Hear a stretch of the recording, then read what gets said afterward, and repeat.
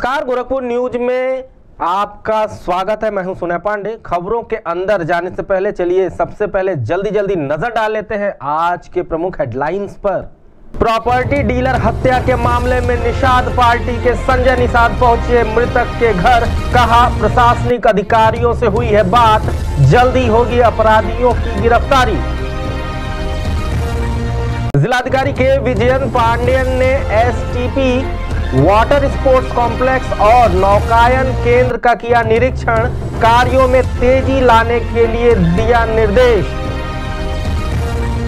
गोरखपुर विश्वविद्यालय के एमबीए और बीबीए के छात्रों ने लगाया प्रोफेसर गोपीनाथ पर भ्रष्टाचार का आरोप। कहा, लगातार डीन कर रहे हैं अपनी मनमानी। यूपी और उत्तराखंड के सीमा शुल्क के आयुक्त शिव कुमार शर्मा ने बताया कि वित्तीय वर्ष 2017-18 में विभाग ने 290 केस में 29 करोड़ 4 लाख का किया है सीजर। जिलाधिकारी की अध्यक्षता में संपन्न हुई विकास कार्यों की मासिक समीक्षा बैठक। विकास कार्यों में तेज़ी लाने के लिए दिए निर्देश। पूरे देश सहित महानगर में भी हुआ दलितों पर अत्याचार के विरोध में कांग्रेसियों का प्रदर्शन रखा मौन व्रत। अपनी मांगों को लेकर अधिवक्ताओं ने डीएम कार्यालय पर किया प्रदर्शन। मांग पूरी नहीं होने तक दी आंदोलन की चेतावनी। स्कॉलरशिप और शुल्क प्रतिपूर्ति की मांग को लेकर ऑल बीटीसी वेलफेयर एसोसिएशन के सदस्यों ने जिलाधिकारी को दिया ज्ञापन। दो दिवसीय राष्ट्रीय संगोष्ठी का हुआ समापन। वर्तमान वैश्विक परिप्रेक्ष्य में बौद्ध शिक्षा की प्रासंगिकता विषय पर वक्ताओं ने रखे अपने विचार। गोरखपुर में फिर मौसम ने ली करवट। बढ़ी शहरवासियों की सांसद मध्य प्रदेश के दुर्ग में सिंधी युवक को हथकड़ी लगाकर शहर भर घुमाने का सिंधी समाज ने किया विरोध। सिंधी काउंसिल ऑफ़ इंडिया के अध्यक्ष गौरव खट्टर ने की प्रेस वार्ता और जगदम्बा प्रसाद पांडे स्मारक फिफ्थ एसाइड अंडर 16 जिला स्तरीय हॉकी क्रिकेट का हुआ उद्घाटन। उद्घाटन मैच लक्ष्य स्पोर्ट्स एकेडमी ने सात के मुकाबले चार से जीता।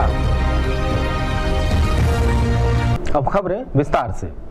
रविवार की रात शाहपुर थाना अंतर्गत चार फाटक ओवरब्रिज के पास प्रॉपर्टी डीलर संतोष साहनी की कुछ बदमाशों ने गोली मारकर हत्या कर दी थी। इस घटना के मद्देनजर सोमवार को निषाद पार्टी के राष्ट्रीय अध्यक्ष संजय निषाद मृतक के मोहद्दीपुर स्थित घर पहुँचे और परिवार का ढाढ़स बढ़ाया। संजय निषाद ने मृतक के परिजनों से मुलाकात की और जल्द से जल्द कार्रवाई करवाने का उन्होंने आश्वासन भी दिया। इस मौके पर मृतक के घर सीओ क्राइम प्रवीण सिंह भी उपस्थित रहे। काफ़ी देर चली संजय निषाद और सीओ क्राइम के बीच बातचीत में सामने आया कि जल्द से जल्द अपराधियों की गिरफ्तारी की जाएगी। इस घटना के बारे में गोरखपुर न्यूज़ से बात करते हुए डॉक्टर संजय निषाद ने कहा कि प्रशासन का सहयोग मिल रहा है और आला अधिकारियों से उनकी बात भी हुई है। अपराधियों की गिरफ्तारी जल्द से जल्द हो जाएगी और अगर ऐसा नहीं होता है तो निषाद समाज आंदोलन करने पर विवश होगा।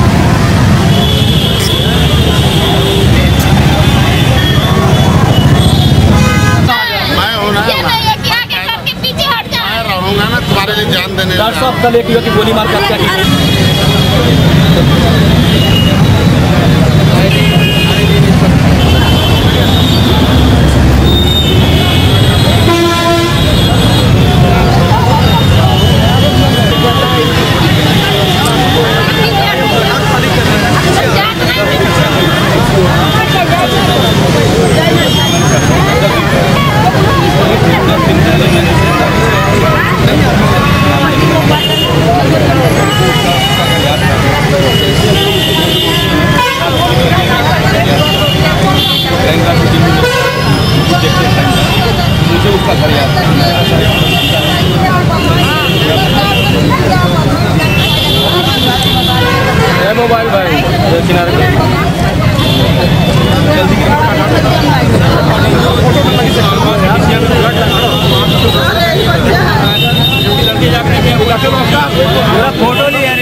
है सब मौजूद है, बात हुई आपकी, क्या बातचीत हुई अब तक? अब इन्होंने कहा मैंने चिन्हित कर लिया, कुछ लोगों को उठा लिया हूँ और नामजद है और पहले से क्रिमिनल था और सीधे साधे परिवार के साथ उसने घटनाएँ की हैं। और कैसे हुआ इन्होंने कहा हम जाँच का विषय है। और उन्होंने कहा कि मैं आश्वस्त हूँ कि वो अपराधी है, अपराधी वही है जिसने उसको कत्ल किया है और आई भी कर लिया और उन्हें नामजद कर लिया है। अब उनके परिवार के लोग गिरफ़्तार हैं, उन्होंने क्राइम ब्रांच देख रहे हैं। ये सी साहब और इन्होंने आश्वस्त किया है कि हम अभी अपने सूत्रों के द्वारा उसको किसी तरीके से गिरफ़्तार करेंगे जब प्रशासन के उसने अगर नामजद कर लिया है तो अब उसको थोड़ा टाइम देना पड़ेगा हमको। और मैं उम्मीद करता हूँ अगर न्याय नहीं किए तो फिर हमारा समाज उसके साथ आंदोलन करने की तैयार रहेगा किसी भी तक करने की तैयार रहेगा मतलब आप में मानेंगे कि प्रशासनिक सहयोग इस मामले में प्रशासनिक सहयोग आपको मिला है ना?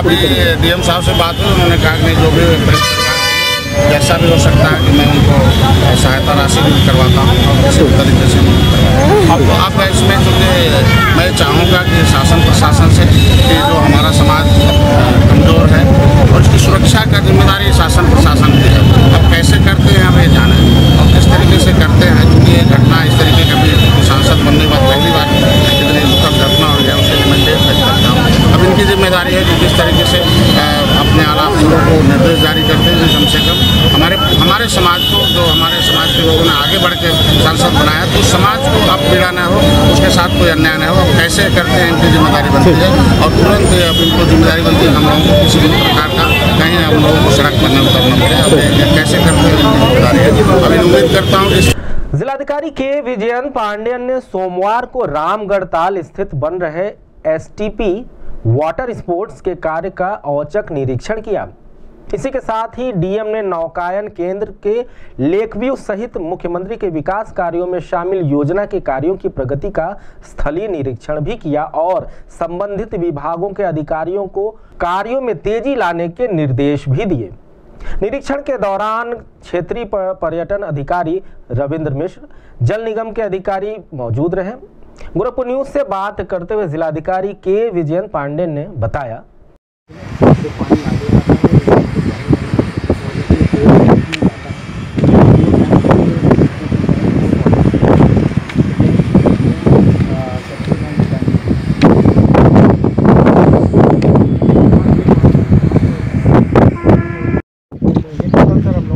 सारे मिल के चालीस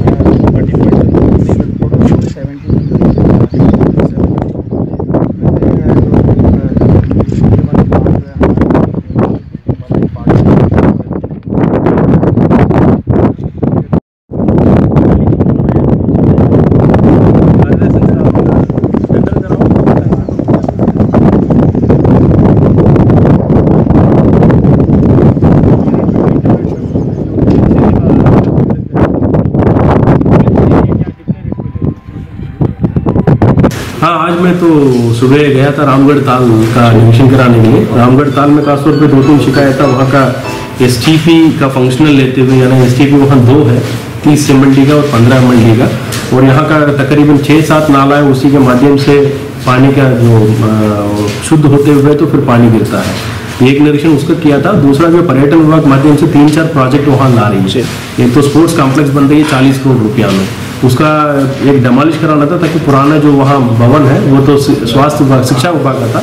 विभाग का भवन का डेमोलिश कराने का था उसको मैं आदेश कर रखा था। अभी एक सप्ताह दस दिन में वो काम प्रारंभ हो जाएगा। दूसरे वहाँ का वहाँ जो एक जो बोर्ड इत्यादि वो उसका खड़ा करने के लिए एक जगह था। लॉन्चिंग पैड है। उसी का भी देखा था, उसको सौंदर्यकरण हो रहा। है तीसरा, वहाँ का एक बड़ा 100 फुट 200 फुट का झंडा जो लगाने के लिए काम चल रहा था, वो भी प्रगति पे है। बट काम तो धीमे है, इसलिए तो हमने तो निरीक्षण करा करके सबको चेतावनी दिया है ये काम को तेज़ी कराए, ताकि हम लोग अप्रैल अंत तक इसको काम का थोड़ा एक रूपरेखा देंगे। गर्मी के पहले ये जनता के लिए सुविधा के रूप से उपलब्ध कर सके। दीनदयाल उपाध्याय गोरखपुर विश्वविद्यालय के एमबीए के छात्रों ने एमबीए की व्यवस्था पर सवाल उठाते हुए एमबीए विभाग के डीन प्रोफेसर गोपीनाथ को कटघरे में खड़ा कर दिया है। बीबीए के छात्रों का कहना है कि पिछले वर्ष जिन पेपरों में उन्हें 80 प्रतिशत अंक प्राप्त हुए थे, इस बार उसी पेपर में वे फेल कर दिए गए हैं। छात्रों का कहना है कि एमबीए और बीबीए में कुल मिलाकर ऐसा 60 छात्रों के साथ किया गया है। एमबीए विभाग के डीन गोपीनाथ पर छात्रों ने गंभीर आरोप लगाते हुए कहा कि फ़ीस के नाम पर धन उगाही की जाती है और तानाशाही का रवैया हमेशा गोपीनाथ की ओर से लगातार अपनाया जा रहा है। मामले की गंभीरता को देखते हुए तत्काल मौके पर कुल सचिव शत्रुघ्न वैश्य पहुँचे और वहाँ के छात्र छात्राओं को समझाने का प्रयास किया। इस संबंध में उन्होंने छात्र छात्राओं से कहा कि अगर आप चाहें तो आपकी कॉपियों की स्कूटनिंग कराई जा सकती है और आपकी मर्ज़ी है, अगर आप चाहें तो आरटीआई दाखिल करके इस बाबत पूरी जानकारी भी ले सकते हैं। गोरखपुर न्यूज़ से बात करते हुए बीबीए के छात्र अष्टभुजा पाठक ने कुछ इस तरह से पूरे मामले को बताया।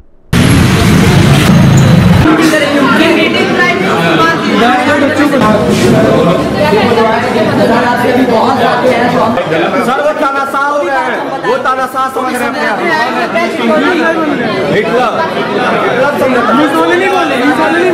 सर मैनेजमेंट के लैंग्वेज बोले मोनोपोली चला रहे हो। समझ रहे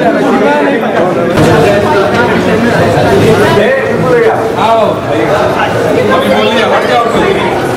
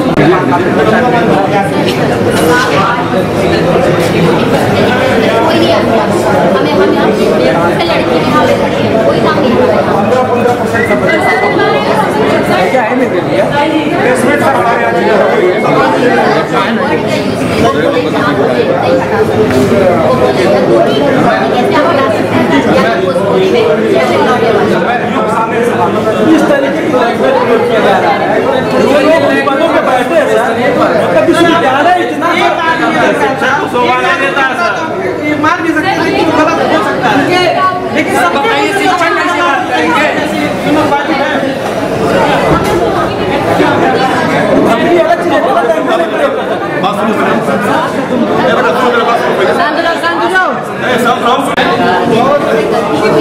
आप क्लास करिए आपके नेक्स्ट सेमेस्टर में सर नेक्स्ट सेमेस्टर में हो गई क्या से बात हुई थी जैसा कि उन्होंने कहा कि मैंने कॉपी नहीं डाली है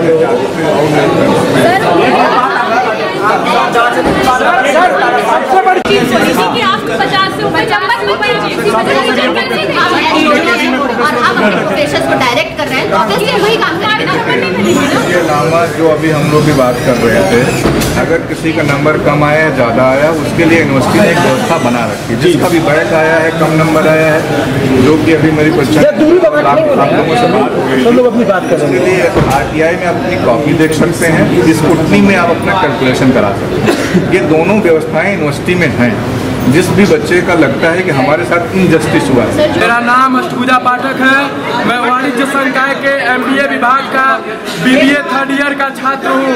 मैं आपको सूचित करना चाहता हूँ, आपको बताना चाहता हूँ कि गोरखपुर विश्वविद्यालय के वाणिज्य संकाय के एमबीए विभाग में जब से एमबीए डिपार्टमेंट चालू हुआ है, तब से और अभी तक का अनुपात अगर उठा कर देख लिया जाए तो आज तक इस अनुपात में हमारे विभाग में कभी बच्चे फेल नहीं हुए हैं। मैं विश्वविद्यालय प्रशासन से और अपने विभाग के गोपीनाथ एचओडी गुरु जी से पूछना चाहता हूँ कि आखिरकार आखिरकार ये आंकड़ा क्या कहता है?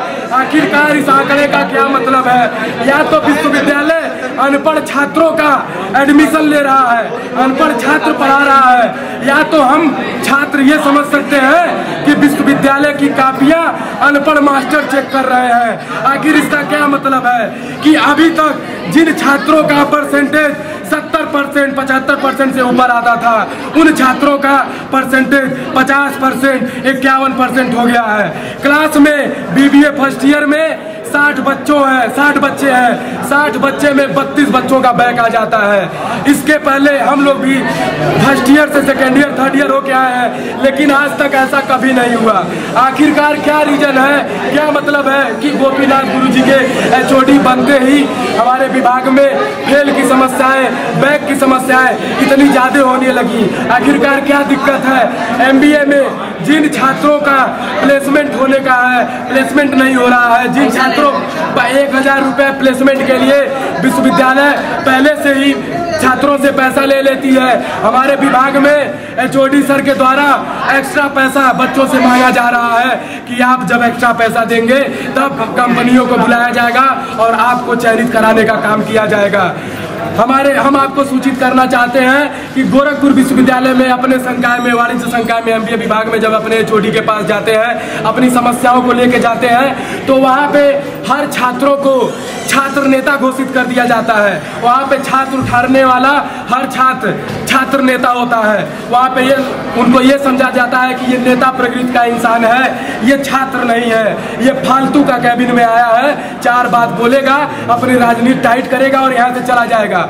उनको ये नहीं पता है कि विश्वविद्यालय में सबसे महँगी फ़ीस एमबीए और बीबीए के छात्र देते हैं। एमबीए एमबीए के छात्र पैंतालीस हज़ार रुपया फ़ीस देते हैं, हम लोग बीस हज़ार रुपया फ़ीस देते हैं। हम अपने विभागाध्यक्ष श्री गोपीनाथ गुरु जी से एकदम नाखुश है, उनके कार्य के नाखुश है, कार्य से जो हमारे विभाग में जिस प्रकार का रिज़ल्ट बना है, जिस प्रकार से बच्चे बैक हुए हैं, फेल हुए हैं, और उनके बात करने के रवैये से एकदम बिल्कुल तानाशाही प्रकृति के इंसान है, जाने पे एकदम अलग टाइप के बोलते हैं। मतलब ऐसी ऐसी बात बोलते हैं कि मैं यहाँ पे नहीं बोल सकता विश्वविद्यालय प्रशासन जो भी है, अब मजबूती से गोपीनाथ सर को चेंज करे, कोई नया एक अच्छा विभागाध्यक्ष बनाया जाए, जो छात्रों को उचित लगे, उनको बनाया जाए। और यहाँ पे सभी छात्र यही चाहते हैं कि प्रेजेंटली जो विभागाध्यक्ष गोपीनाथ गुरु जी हैं, उनको बदला जाए। वहीं गोरखपुर न्यूज़ ने अपने दूरभाषिक वार्ता में प्रोफेसर गोपीनाथ से जब बात करनी चाहिए तो उनका स्पष्ट कहना है कि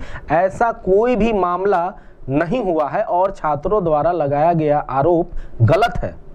यूपी और उत्तराखंड के सीमा शुल्क के आयुक्त शिव कुमार शर्मा ने सोमवार को गोरखपुर मंडल कार्यालय पर आयोजित पत्रकार वार्ता में बताया कि विभाग ने वित्तीय वर्ष 2017-18 में अपने कार्य क्षेत्र में 290 केस में 29 करोड़ 4 लाख का सीजर किया है, जो कि पिछले वर्ष की तुलना में 18 करोड़ के सीजर से इकसठ प्रतिशत अधिक है। इस सीजर में कुल 45 किलो सोना 150 टन विदेशी सुपारी भी शामिल है। उन्होंने बताया कि इस वित्तीय वर्ष में कुल 18 व्यक्ति गिरफ़्तार किए गए हैं। उनका कहना है कि विभाग द्वारा एक वेबसाइट का लिंक जारी किया गया है, जिसमें इंपोर्टर, एक्सपोर्टर अपनी समस्याओं का संज्ञान ले सकते हैं, जिस पर त्वरित कार्रवाई भी की जाएगी। इसके अलावा कोई भी व्यक्ति तस्करी संबंधी जानकारी देता है तो उसका नाम और पता पूरी तरह से गोपनीय रखा जाएगा और उसे 20 प्रतिशत का इनाम भी दिया जाएगा। गोरखपुर न्यूज़ से बात करते हुए कमिश्नर सीमा शुल्क शिव कुमार शर्मा ने बताया। मेरा नाम शिव कुमार शर्मा है और मैं आयुक्त उत्तर प्रदेश और उत्तराखंड दोनों राज्य का आयुक्त हूँ। और हम लोगों का जो मेन काम है वो ये है कि इंपोर्ट एक्सपोर्ट से रिलेटेड गतिविधियाँ। तो यहाँ पे जो इंपोर्ट एक्सपोर्ट होता है उत्तर प्रदेश और उत्तराखंड में वो लैंड कस्टम स्टेशन के थ्रू होता है। जैसे कि एक लैंड कस्टम स्टेशन यहाँ के बगल में सोनौली है दूसरा लैंड कस्टम स्टेशन यहाँ के बगल में बढ़नी है। तो मेरे जुरिडिक्शन में कुल चौदह लैंड कस्टम स्टेशन हैं। और इसके अलावा इंटरनेशनल एयरपोर्ट हैं जैसे कि वाराणसी इंटरनेशनल एयरपोर्ट और लखनऊ इंटरनेशनल एयरपोर्ट वहाँ पे इंटरनेशनल फ़्लाइट्स आती जाती है वहाँ पे हमारे स्टाफ तैनात है। वहाँ दो, एक लखनऊ और एक वाराणसी। और एक आगरा भी है। तो आगरा में बेसिकली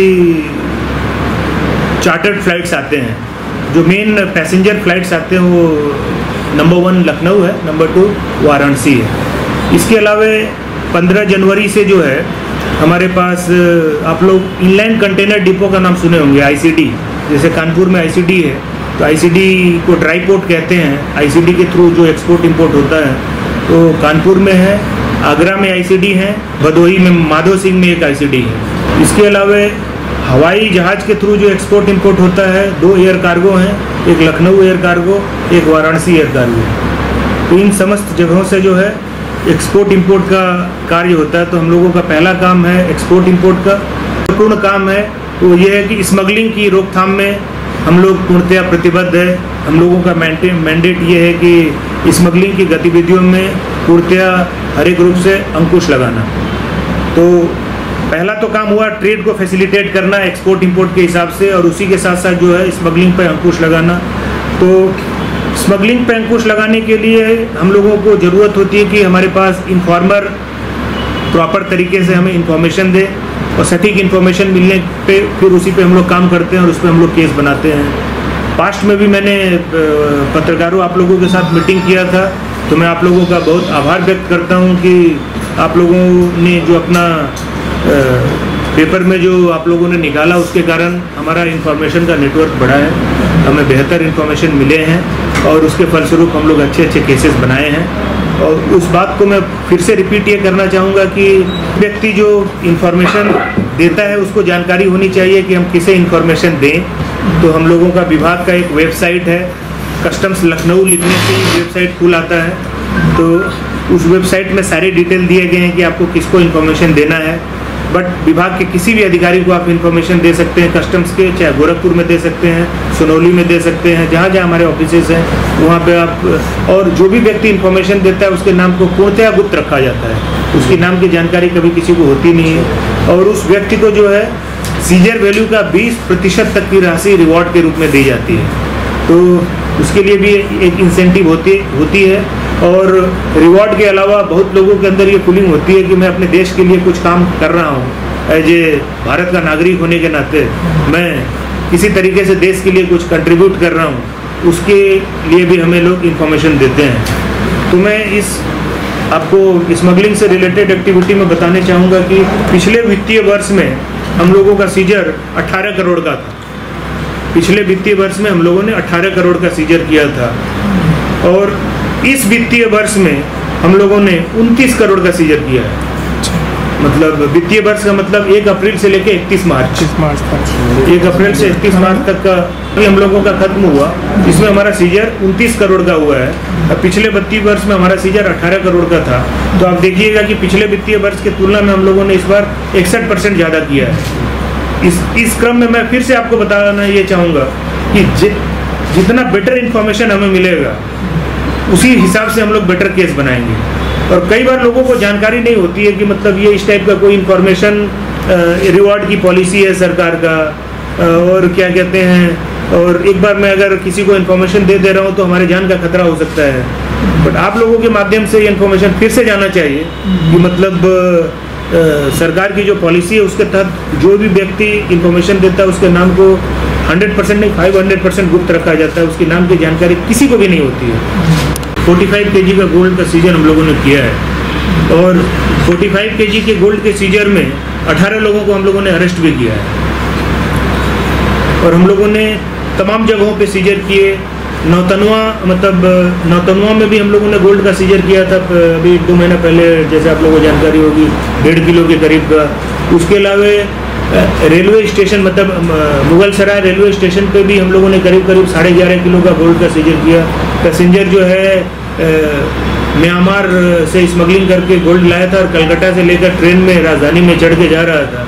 तो सटीक इन्फॉर्मेशन पे रात को उसी के बर्थ पे जाकर उसको उतारा गया और उसके पास से 11 किलो की गोल्ड की रिकवरी हुई।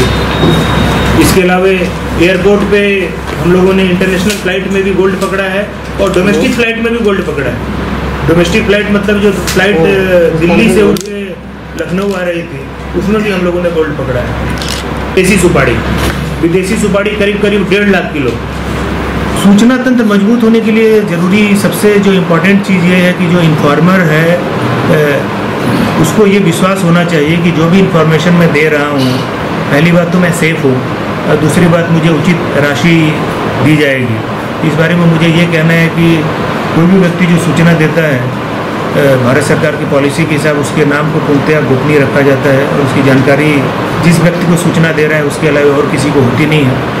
और रिवॉर्ड पॉलिसी के तहत 20 प्रतिशत तक की जो राशि है, उन्हें रिवॉर्ड के रूप में दिया जाता है। जो हम लोगों की जो पॉलिसी है, उसके तहत काफ़ी आइटम्स ऐसे हैं जो कि फ्री शिपिंग बिल के तहत मूव करते हैं। फ्री शिपिंग बिल का मतलब सोनौली से जितना एक्सपोर्ट जो होता है प्रतिदिन आप समझ लीजिए सोनौली से 500 ट्रक रोज पास होते हैं। तो उसमें जो फ्री शिपिंग बिल वाले आइटम है मतलब जिस पे कोई ड्यूटी नहीं है जिस पे कोई टैक्स नहीं है या जिस पे किसी प्रकार का प्रतिबंध नहीं है तो उसके लिए किसी प्रकार का चेकिंग का कोई प्रावधान नहीं है। उसको कस्टम डिपार्टमेंट कभी चेक नहीं करती है। उसको हम लोग हम हम लोगों के अलग अलग जगहों पर मोबाइल प्रिवेंटिव यूनिट तैनात है।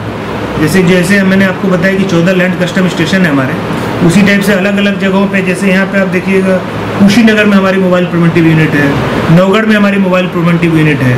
तो इन लोगों का काम है इंफॉर्मेशन लेना और पेट्रोलिंग वगैरह करते रहना चेक करते रहना। तो वहाँ से जब इंफॉर्मेशन मिलता है तो वहाँ से भी केस बनता है। जनपद स्तरीय विकास कार्यों की मासिक समीक्षा बैठक जिलाधिकारी के विजयन पांडेयन की अध्यक्षता में विकास भवन के सभागार में संपन्न हुई। बैठक में पीडब्ल्यूडी के द्वारा कराए जा रहे सड़कों के निर्माण, गन्ना संस्थान के शिफ्टिंग जल निगम, शिक्षा विभाग सहित अन्य विभागों के कार्यों की प्रगति की। जिलाधिकारी ने क्रमवार समीक्षा की और अधिकारियों को कार्यों में तेज़ी लाने के निर्देश भी दिए। बैठक में मुख्य विकास अधिकारी अनुज सिंह, डीडीओ बब्बन उपाध्याय, बीएसए राम सागर, पति त्रिपाठी सहित सभी विभागों के जिला स्तरीय अधिकारी मौजूद रहे।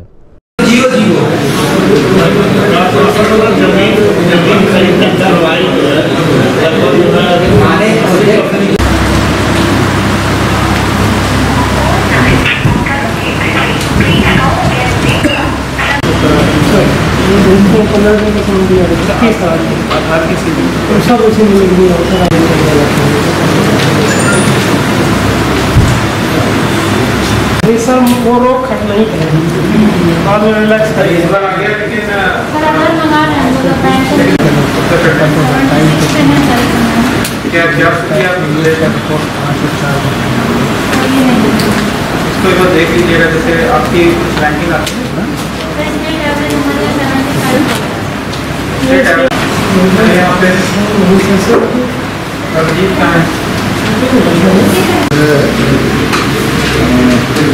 नंबर तो दो नंबर तो और सर छः नंबर तो पिछले महीने आपने क्या कहा था? कितने पूरे हो जाएँगे? सर चार पहले सर चार पूरे हैं नहीं, पिछले महीने का आपका कमिटमेंट क्या था? तो बातों की ध्यान खुशी से। पहुँच गया गया कंफर्म कर लिया अपने। प्रोसेस ऑफ़ द केस ये सचिन साहब का फ़ोन आ गया था। फ़ोन आ गया।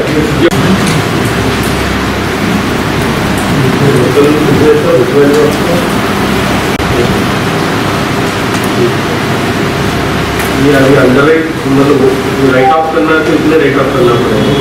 एक करोड़ बावन लाख। मतलब ये इसके अलावा डीएसपी साहब आपके ये दो दुकान का नाम किसी का भवन तो बचा तो नहीं है। नहीं सर जो तो पीडब्ल्यूडी का इसके अलावा बाकी शिक्षा विभाग को तो गिर गया। जी जी सर। और वो नलकूप का था वो भी है। हो गया हो गया। का टोटल एक सौ इक्यावन पीडब्ल्यूडी का है भवन। इनके आप कितने भवन है टोटल मिलके अभी मेरी साथ सात? आपके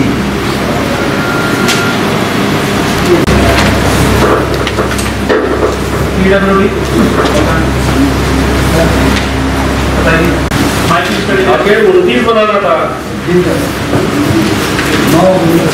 नौ भी केवल बीस रह गया।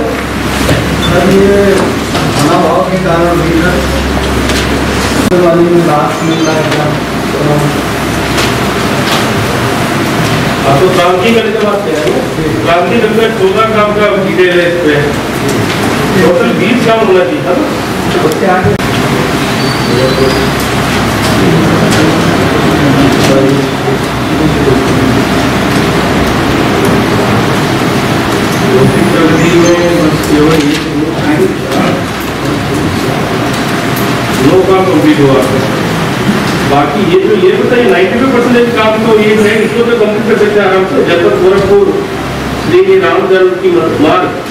ये हटा रहे ये हो जाएगा ना? हटा दीजिए हटा के दीजिए। सर अभी इसमें क्या दिक्कत है कि हमको मिट्टी के प्रदूषण के लिए मिट्टी प्रदूषण क्या सात सौ मीटर में हमें करना था। तो।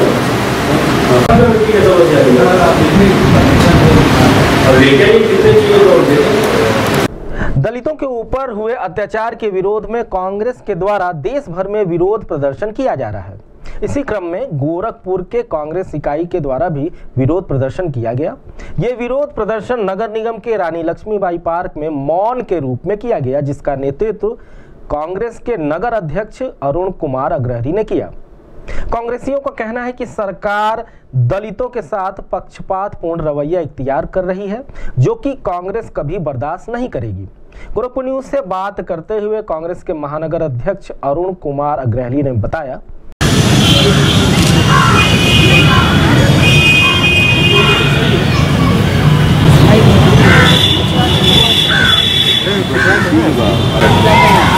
तो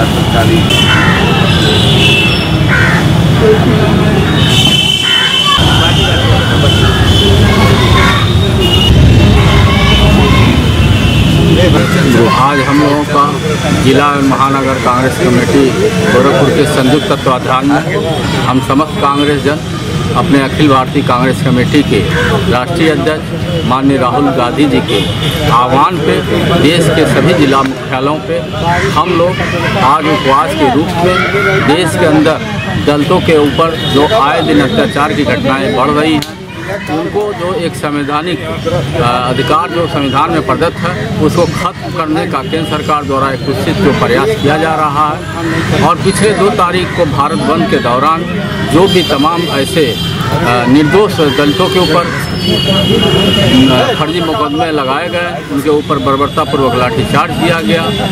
उसमें कई आंदोलनकारी शहीद भी हुए उन समूह सभी चीज़ों का विरोध करने के लिए हम समस्त कांग्रेस जन टाउन हॉल स्थित महारानी लक्ष्मीबाई पार्क में एकत्र हुए हैं और उपवास के माध्यम से केंद्र प्रदेश सरकार तक ये आवाज़ पहुँचाना चाहते हैं। वो संवैधानिक रूप से, नैतिक रूप से, जो एक दलित भाई हैं, समाज के अंतिम व्यक्ति हैं, शोषित वर्ग है, उनको जो एक कूटनीति के तहत उनको जो अधिकारों से वंचित करने का काम किया जा रहा है या उनके ऊपर जो अत्याचार की घटनाएँ दिन प्रतिदिन बढ़ती जा रही है, उसके विरोध में हम समस्त कांग्रेसजन यहाँ पर उपवास के माध्यम से एक विरोध प्रकट कर रहे हैं और केंद्र और प्रदेश सरकार को चेतावनी देते हैं वो ऐसे लोगों के ऊपर जो इन घटनाओं में लिप्त हैं जो दलितों के ऊपर अत्याचार कर रहे हैं उनके विरुद्ध कड़ी से कड़ी कार्रवाई की जाए और जो फर्जी मुकदमे उस आंदोलन के दौरान दलितों के ऊपर लादे गए हैं या जो लोग शहीद हुए हैं, उनको एकदम उनके साथ न्याय किया जाए, फर्जी मुकदमे को तत्काल वापस लिया जाए। नहीं तो हम कांग्रेस जन ये जो संघर्ष की आज प्राथमिक चरण के रूप में हम लोग उपवास पर बैठे हैं, और उसके बाद क्रमशः हम लोग धरने के रूप में, प्रदर्शन के रूप में, गिरफ्तारी के रूप में या जहाँ भी जितने आगे जाके हमको संघर्ष करना पड़ेगा।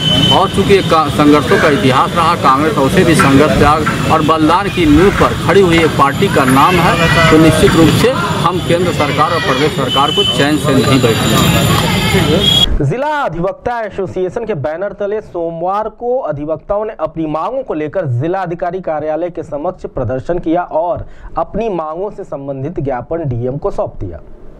अपनी मांगों को लेकर आंदोलन कर रहे अधिवक्ताओं ने आज भी न्यायिक कार्य से विरत रहे। अपनी मांगों को पूरा होने तक आंदोलन करने की उन्होंने चेतावनी भी दी है। जिंदाबाद जिंदाबाद।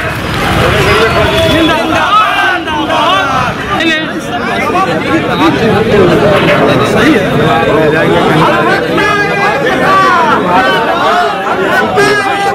आप उनसे बोल दीजिए कि आज से पत्रक ले लें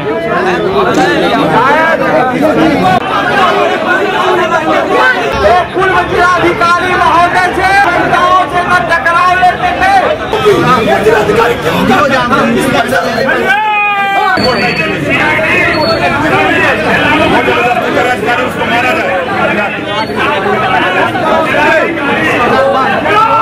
आप जो है धर्म जो है संघर्षरत है लेकिन आज तीन दिन हो गया लेकिन जिला प्रशासन के कान में अभी तक जू नहीं लेगा सभी को बताना चाहूँगा कि 40 और 45 वर्षों से इस ज़िले में जिला मुख्यालय पर तहसील से आए हुए एसडीएम लोगों को बैठकर न्याय कार्य करने की परंपरा को आप द्वारा जो है उसको जो है डिस्टर्ब करने का प्रयास किया जा रहा है आप अवगत हैं कि जिला पर जो है तमाम वनवासी वकील जो है अपना काम उपलब्ध होते हैं बातकारी तमाम शहर में रहते हैं जो यहाँ पर मुकदमा दाखिल करते हैं और यही उनके ही मुकदमे देखे जाते हैं तहसील मुख्यालय पर दाखिल मुकदमे को जो है जिला मुख्यालय में सुनवाई नहीं होती है एक सौ अंठानवे एक के मुकदमे में जो है सरकारी वकील जिला मुख्यालय पर उपलब्ध होते हुए होते हैं रेगुलर सूट में जो है ऑलरेडी इनके सरकारी वकील जिला मुख्यालय पर उपलब्ध होते हैं इन सभी बातों को जिलाधिकारी और कमिश्नर महोदय को अवगत कराया गया लेकिन अभी तक आपने कान में छू नहीं लगी लिहाजा जो है, मुझे लगता है कि आप इस संघर्ष को और आगे बढ़ाना चाहते हैं। मैं इस तरह के माध्यम से बताना चाहूँगा कि यदि जिला प्रशासन ने तत्काल जो है इस पर कार्रवाई नहीं किया तो जिलाधिकारी महोदय को जो है, जैसे व्यवस्था पहले से काम है, उस तरह से बहाल नहीं रखा। तो अधिवक्ता, अगर आज तो अपने घर में जो है, इस तरह की मांगों को लेकर के आपके समक्ष जो है, वह जो है में जाने से पहले चलिए जल्दी जल्दी दोबारा नज़र डाल लेते हैं आज के प्रमुख हेडलाइंस पर। प्रॉपर्टी डीलर हत्या के मामले में निषाद पार्टी के संजय निषाद पहुँचे मृतक के घर, कहा प्रशासनिक अधिकारियों से हुई है बात, जल्दी होगी अपराधियों की गिरफ्तारी। जिलाधिकारी के विजयन पांडेयन ने एसटीपी वाटर स्पोर्ट्स कॉम्प्लेक्स और नौकायन केंद्र का किया निरीक्षण। कार्यों में तेज़ी लाने के लिए दिया निर्देश। गोरखपुर विश्वविद्यालय के एमबीए और बीबीए के छात्रों ने लगाया प्रोफेसर गोपीनाथ पर भ्रष्टाचार का आरोप। कहा, लगातार डीन कर रहे हैं अपनी मनमानी। यूपी और उत्तराखंड के सीमा शुल्क के आयुक्त शिव कुमार शर्मा ने बताया कि वित्तीय वर्ष 2017-18 में विभाग ने 290 केस में 29 करोड़ 4 लाख का किया है सीजर। जिलाधिकारी की अध्यक्षता में संपन्न हुई विकास कार्यों की मासिक समीक्षा बैठक। विकास कार्यों में तेज़ी लाने के लिए दिए निर्देश। पूरे देश सहित महानगर में भी हुआ दलितों पर अत्याचार के विरोध में कांग्रेसियों का प्रदर्शन रखा मौन व्रत। अपनी मांगों को लेकर अधिवक्ताओं ने डीएम कार्यालय पर किया प्रदर्शन। मांग पूरी नहीं होने तक दी आंदोलन की चेतावनी। स्कॉलरशिप और शुल्क प्रतिपूर्ति की मांग को लेकर ऑल बीटीसी वेलफेयर एसोसिएशन के सदस्यों ने जिलाधिकारी को दिया ज्ञापन। दो दिवसीय राष्ट्रीय संगोष्ठी का हुआ समापन। वर्तमान वैश्विक परिप्रेक्ष्य में बौद्ध शिक्षा की प्रासंगिकता विषय पर वक्ताओं ने रखे अपने विचार। गोरखपुर में फिर मौसम ने ली करवट। बढ़ी शहरवासियों की सांसत मध्य प्रदेश के दुर्ग में सिंधी युवक को हथकड़ी लगाकर शहर भर घुमाने का सिंधी समाज ने किया विरोध। सिंधी काउंसिल ऑफ़ इंडिया के अध्यक्ष गौरव खट्टर ने की प्रेस वार्ता और जगदम्बा प्रसाद पांडे स्मारक फिफ्थ एसाइड अंडर 16 जिला स्तरीय हॉकी क्रिकेट का हुआ उद्घाटन। उद्घाटन मैच लक्ष्य स्पोर्ट्स एकेडमी ने सात के मुकाबले चार से जीता।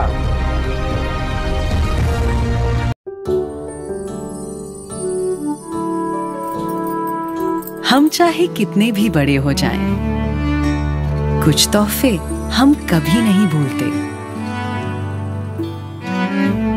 जैसे घर आई नन्ही खुशी के लिए दादा दादी का दुलार।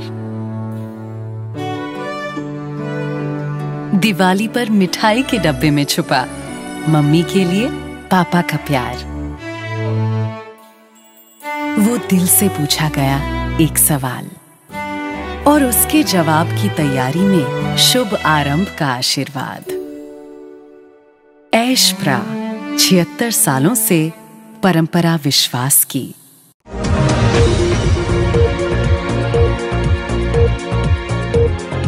गोरखपुर न्यूज़ के तरफ़ से एक विशेष ऑफ़र।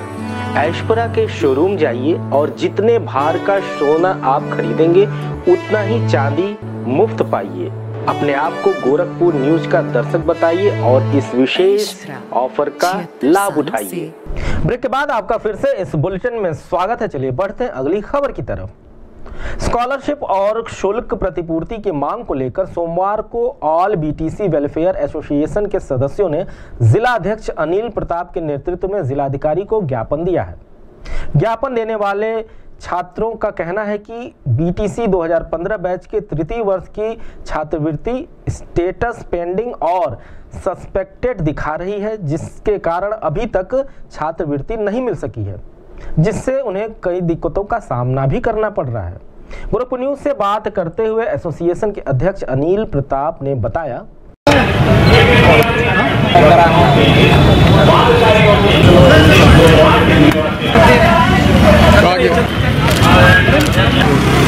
छात्रवृत्ति एवं शुल्क प्रतिपूर्ति को मांग को लेकर हम लोग आए हैं। बीटीसी के हम लोग छात्र हैं गोरखपुर ज़िले से हैं।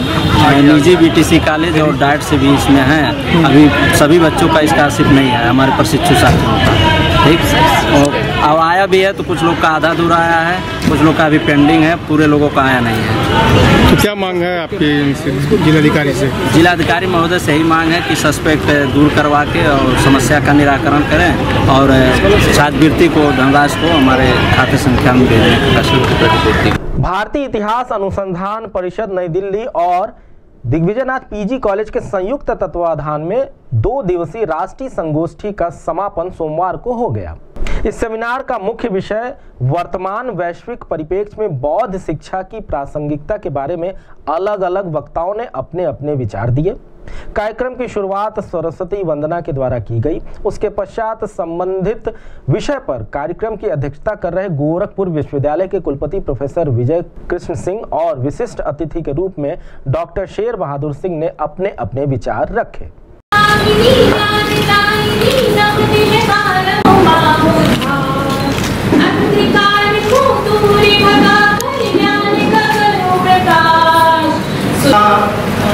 हुए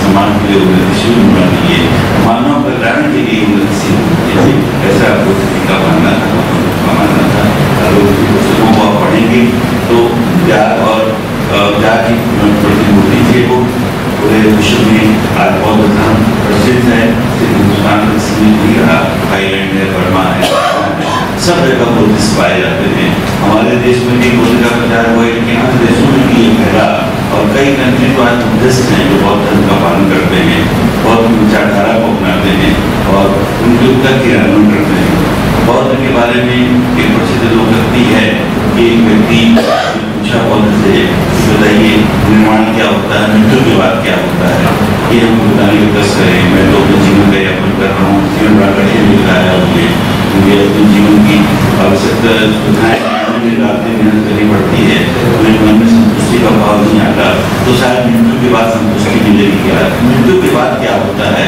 यह थोड़ा अपने बताने का कष्ट तो गौतम बुद्धा का जो प्रकरण जो दर्पणों में मिलता है, उसमें उस व्यक्ति से कहा कि, देखो, मृत्यु के बाद क्या होता है, इसके बारे में विचार करने की बजाय, अभी आप जो जीवन व्यतीत कर रहे हैं, जो आपके जीवन, जो आपके महत्वपूर्ण कार्य करते हैं अपने जीवन में, उसमें विचार करके, ठीक उसी तरह से जैसे आप जा रहे हैं और आपको एक तीर आपकी लग जाती है तो आप उस तीर को ये देखते हैं कि वो तीर कहाँ से आया है, कहाँ से दिया है, किसने मारा है आपको?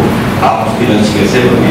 पहला कार्य आपका ये होता है कि उस तीर को निकालिए और उस तीर को निकाल के अंदर जो आपके शहर जहर के, शरीर के अंदर जो जहर फैलने की संभावना बढ़ती जा रही है, उसको दूर करिए। उस वही हमारा जीवन का मूल स्रोत है जो कार्य कर रहे हैं उसको पूरी तन्मयता से करें और अपने कार्य को अगर हम तन्मयता से करेंगे निष्पादन ठीक से करेंगे ईमानदारी से करेंगे और लोगों के लोगों को भलाई के लिए करेंगे वही हमारे जो हमारा निर्माण काल होगा जो अंतिम समय आएगा तो जो हमें सुख प्राप्त होगा, अपने जीवन की उपलब्धियों को जोड़ेंगे, अपने जीवन भर की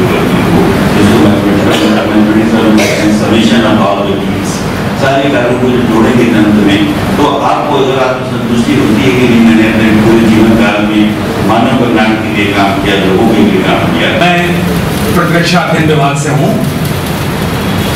और ये विगत दो दिन से जो शांति का संदेश फैलाया जा रहा है, महात्मा बुद्ध के माध्यम से, निश्चित रूप से प्रशंसनीय है अनुकरणीय है।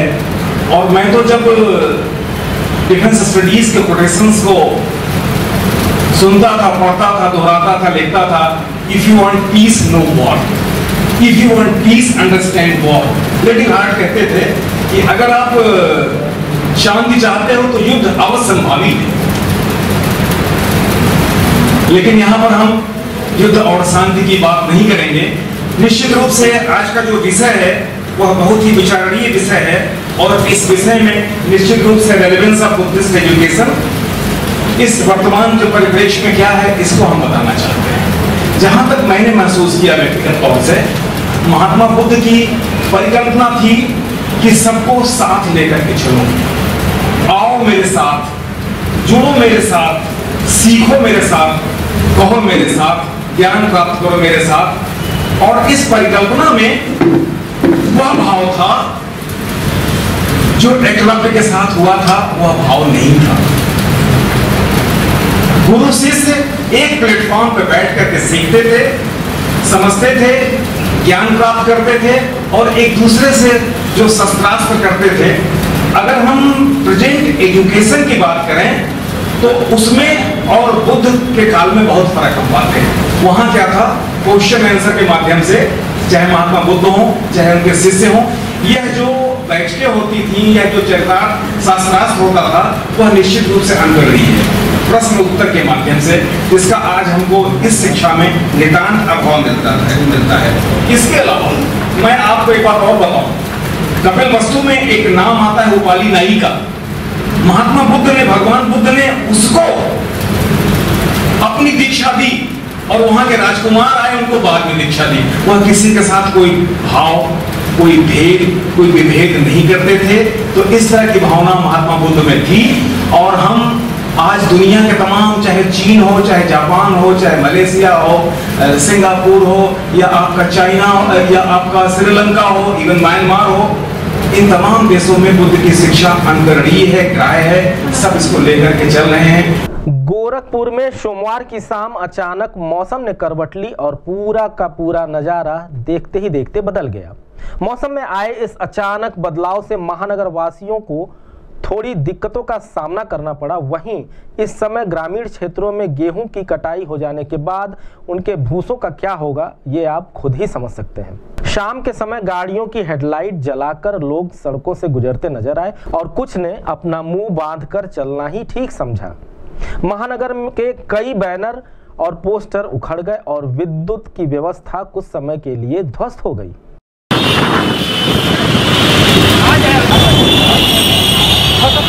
गत दिनों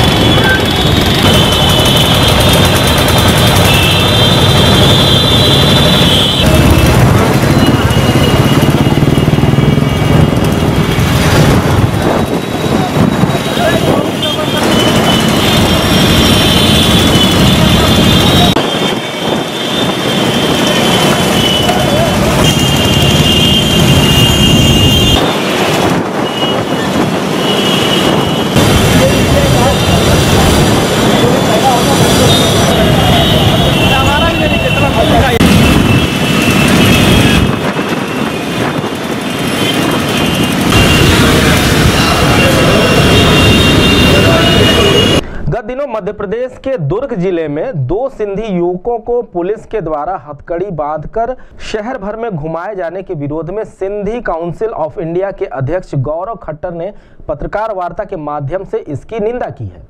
उन्होंने पत्रकारों से बात करते हुए कहा कि दोनों लोगों को हथकड़ी पहनाकर रस्सी बांधकर सड़कों पर घुमाया गया।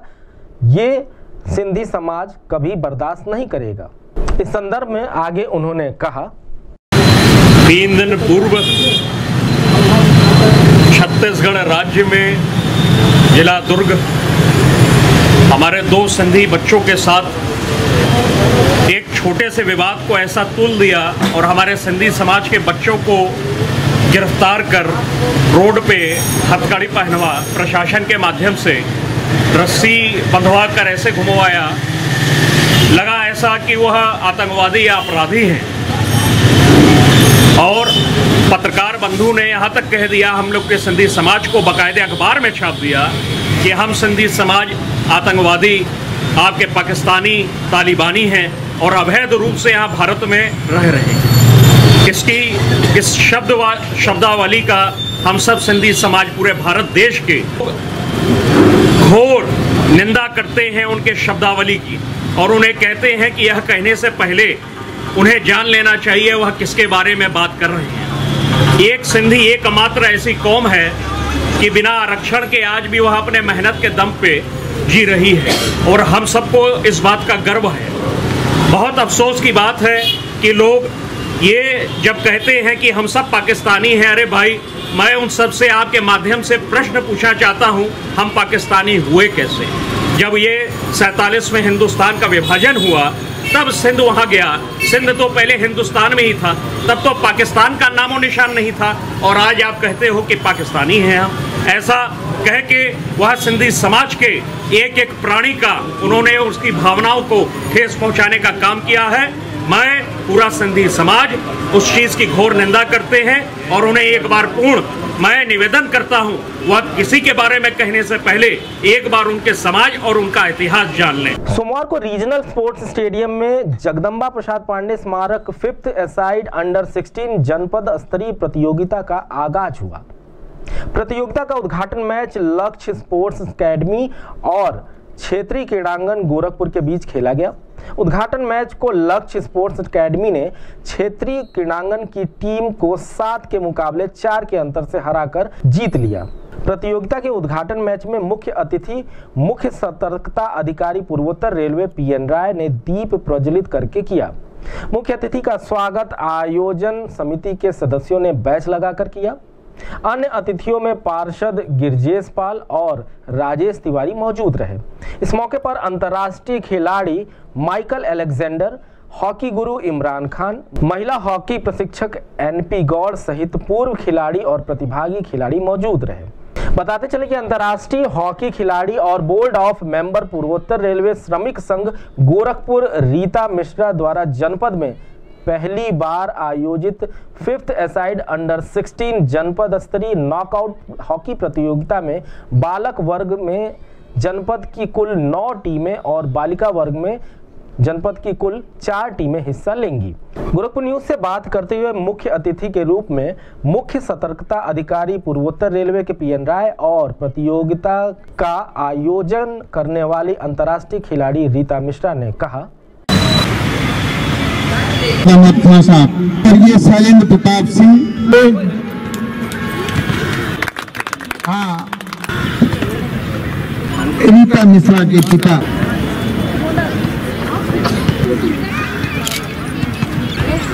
खिलाड़ियों के साथ। गुलाब का फूल। लक्ष्य स्पोर्ट्स एकेडमी की खिलाड़ियों की।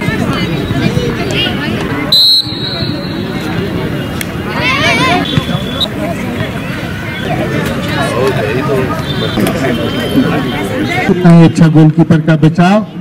कुल आठ खिलाड़ी हैं पाँच मैदान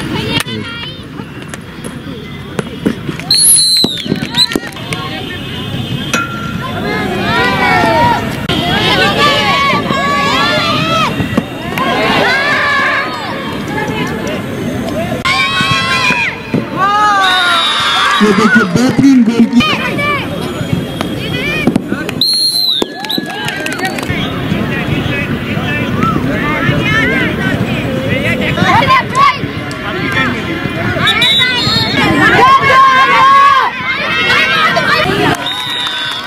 बहुत ही किया जैसे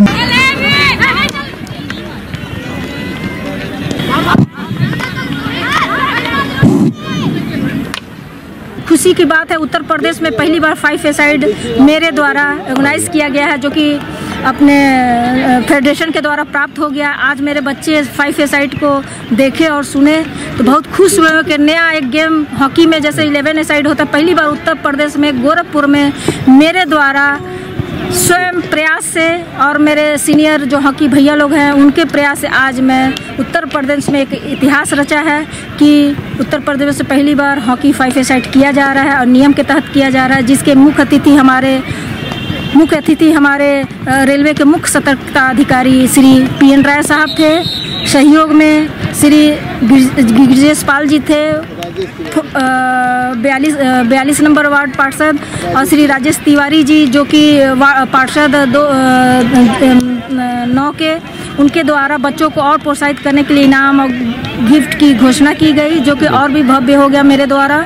साथ में सबसे बड़ी बात है कि अपने उत्तर प्रदेश के एसपी साहब ने भी फाइनल समापन दो ग्यारह चार तीन बजे समापन होना है। उसके लिए एसपी साहब ने भी हमको अपना समय दिया है। और सबसे बड़ी खुशी की बात है, बहुत इतने बिज़ी शेड्यूल में मेरा पूछे कि आप कहाँ खेलती हैं कहाँ की रहने वाली काफ़ी उन्होंने समय दिया। उससे मैं बहुत खुशी हुई कि अपने प्रशासन के द्वारा अगर इतना सहयोग मिलेगा एसपी साहब के था सलभ जी के तरफ़ से तो हमको बहुत खुशी हुआ। और भी हर्ष और भी मतलब खुशी हुई जिसकी बयान करना मेरे लिए आ, मतलब जितना हम तारीफ़ करें अपने प्रशासन के द्वारा, लोगों के द्वारा, मेरे सीनियर प्लेयरों के द्वारा सबसे बड़ी बात है कि अगर कोई चीज़ अच्छा कार्य करता है, सबसे अच्छा और सबसे पहला काम मैं धन्यवाद देना चाहती हूँ प्रेस प्रेस मीडिया को, आप जैसे भाई को, जो अच्छा कोई कार्य होता है, आप, आपको भी मैं बहुत बहुत धन्यवाद करती हूँ। और मतलब कि मैं जितना तारीफ़ कर, आज आज कोई भी कार्य अच्छे हो रहे हैं, लेकिन आपके सहयोग से, आपके चैनल के द्वारा अगर ना हो तो कैसे प्रशासन को पता चलेगा? कि कोई चीज़ हो रहा है? नहीं, बहुत अच्छा लगा और जो रीता मिश्रा जी हैं। इनका प्रयास बहुत ही सराहनीय है कि ये छोटे छोटे बच्चों को प्रोत्साहित कर रही हैं, जिससे कि ये खेल सकें। और इस चीज़ को मैं मानता हूँ कि ढेर सारे ऐसे लोगों की देश को ज़रूरत है, जो लोगों को प्रोत्साहित करें ताकि देश के अंदर खेल का एक बहुत ही अच्छा वातावरण। सीखना चाहिए जब तक छोटे से ही तो खिलाड़ी निकलते हैं, बहुत बड़े हो जाने के बाद कोई खिलाड़ी नहीं बन सकता। या कोई चीज़ चाहे पढ़ाई हो चाहे खिलाड़ी हो स्टार्टिंग से ही होना है। तो मैं तो यही कहूँगा कि बहुत बढ़िया इससे इवन इससे भी छोटे हों आइए ना। बहुत ही अच्छा है। चलिए चलने के पहले जल्दी जल्दी फिर से नज़र डाल लेते हैं आज की प्रमुख हेडलाइंस पर। प्रॉपर्टी डीलर हत्या के मामले में निषाद पार्टी के संजय निषाद पहुँचे मृतक के घर। कहा प्रशासनिक अधिकारियों से हुई है बात। जल्दी होगी अपराधियों की गिरफ्तारी। जिलाधिकारी के विजयन पांडेयन ने एसटीपी वाटर स्पोर्ट्स कॉम्प्लेक्स और नौकायन केंद्र का किया निरीक्षण। कार्यों में तेज़ी लाने के लिए दिया निर्देश। गोरखपुर विश्वविद्यालय के एमबीए और बीबीए के छात्रों ने लगाया प्रोफेसर गोपीनाथ पर भ्रष्टाचार का आरोप। कहा, लगातार डीन कर रहे हैं अपनी मनमानी। यूपी और उत्तराखंड के सीमा शुल्क के आयुक्त शिव कुमार शर्मा ने बताया कि वित्तीय वर्ष 2017-18 में विभाग ने 290 केस में 29 करोड़ चार लाख का किया है सीजर। जिलाधिकारी की अध्यक्षता में संपन्न हुई विकास कार्यों की मासिक समीक्षा बैठक। विकास कार्यों में तेज़ी लाने के लिए दिए निर्देश। पूरे देश सहित महानगर में भी हुआ दलितों पर अत्याचार के विरोध में कांग्रेसियों का प्रदर्शन रखा मौन व्रत। अपनी मांगों को लेकर अधिवक्ताओं ने डीएम कार्यालय पर किया प्रदर्शन। मांग पूरी नहीं होने तक दी आंदोलन की चेतावनी। स्कॉलरशिप और शुल्क प्रतिपूर्ति की मांग को लेकर ऑल बीटीसी वेलफेयर एसोसिएशन के सदस्यों ने जिलाधिकारी को दिया ज्ञापन। दो दिवसीय राष्ट्रीय संगोष्ठी का हुआ समापन। वर्तमान वैश्विक परिप्रेक्ष्य में बौद्ध शिक्षा की प्रासंगिकता विषय पर वक्ताओं ने रखे अपने विचार। गोरखपुर में फिर मौसम ने ली करवट। बढ़ी शहरवासियों की सांसद मध्य प्रदेश के दुर्ग में सिंधी युवक को हथकड़ी लगाकर शहर भर घुमाने का सिंधी समाज ने किया विरोध। सिंधी काउंसिल ऑफ़ इंडिया के अध्यक्ष गौरव खट्टर ने की प्रेस वार्ता और जगदम्बा प्रसाद पांडे स्मारक फिफ्थ एसाइड अंडर 16 जिला स्तरीय हॉकी क्रिकेट का हुआ उद्घाटन। उद्घाटन मैच लक्ष्य स्पोर्ट्स एकेडमी ने सात के मुकाबले चार से जीता। अब तक के लिए दीजिए हमें इजाज़त और देखते रहिए Gorakhpur news. News before headline. नमस्कार।